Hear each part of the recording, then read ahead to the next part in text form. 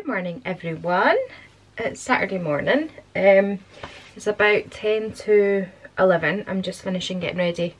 Um, we're like up a little bit later and getting started a little bit later because Toots was up a few times last night. Which is absolutely fine but we were just a little bit more tired this morning. So yes, we're getting there now. Stephen's giving her her bottle and I just need to get her dressed after I get myself dressed. Look at my necklace. Mama, how sweet is that? Um, it was a gift from Florrie for my birthday. She saved her pennies. Um, but it's really nice, Mama. And then I'm just going to layer it up with a second necklace, which was a gift from Stephen for my 30th birthday, which is like over a year ago now. It's hard to believe that. Anyway, I'm going to pop this on. I'm going to do something with my hair. I don't really know what because I've got this weird postpartum, I'm going to deal with this after, this weird postpartum hair growth, right? So basically, my hair fell out in like major clumps and it got in a really bad condition. It was after I stopped breastfeeding. Um, get the wee spikes. And uh, now it's growing in again at the front. I don't know if you can see this. Do you see all this little like spikiness? So bizarre. So I never really know what to do with it. But it's in quite good condition today. So I think I'm just to like straighten it or curl it or something. yeah. I'm to go put my necklace on, do my hair and then we're to get ready to go and get in the car and get on the road. We are in the car. We're heading to Ullapool. We're like an hour late. Never mind. We plan to leave at 11 but if you've got kids you know what it's like. Oh my goodness this winter wonderland. Wow, it's actually beautiful. A lot of places in Scotland got snow last night, but we didn't, but there's a definite frosting, sort of icy look to the place. So yeah, we we left 10 to 12 and we'll get there probably just after 1. So that's the plan and we're going to go and find somewhere to have food.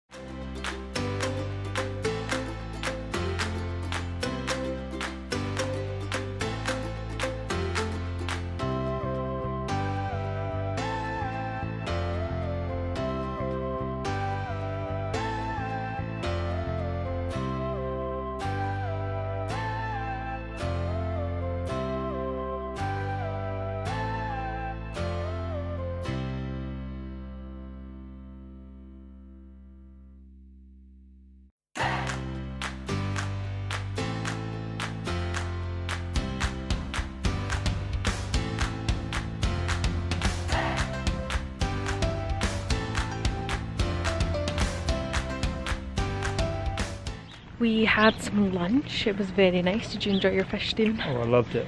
Beautiful.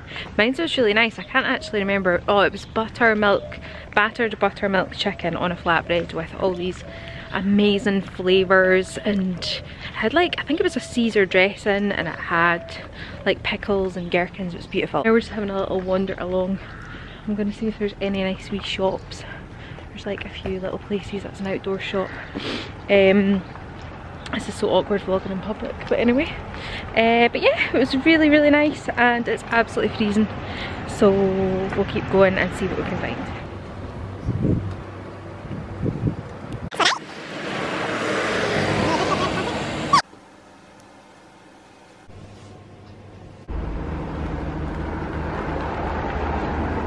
we are heading back to the car. We, I just went into the shop because it had like little Christmas decorations in the window but I actually didn't find a Christmas decoration but randomly I've bought a top, a shirt. yeah we're to head back to the car and we're just to get on the road because it is quite frosty and icy and it's absolutely beautiful but obviously the drive might be a little bit nippy and a little bit skiddy at points so we'll just get home, get cosy and of course it's Strictly night so I'll force Stephen to watch Strictly. Oh, thanks.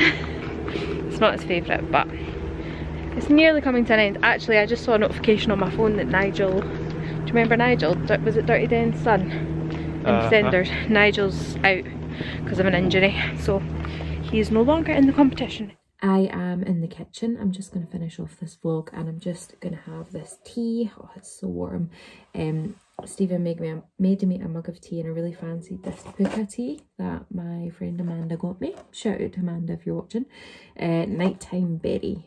It is actually really nice. It's really tasty. It's just a wee bit different, you know, from like a standard cup of tea. I'm finishing this vlog off on my phone.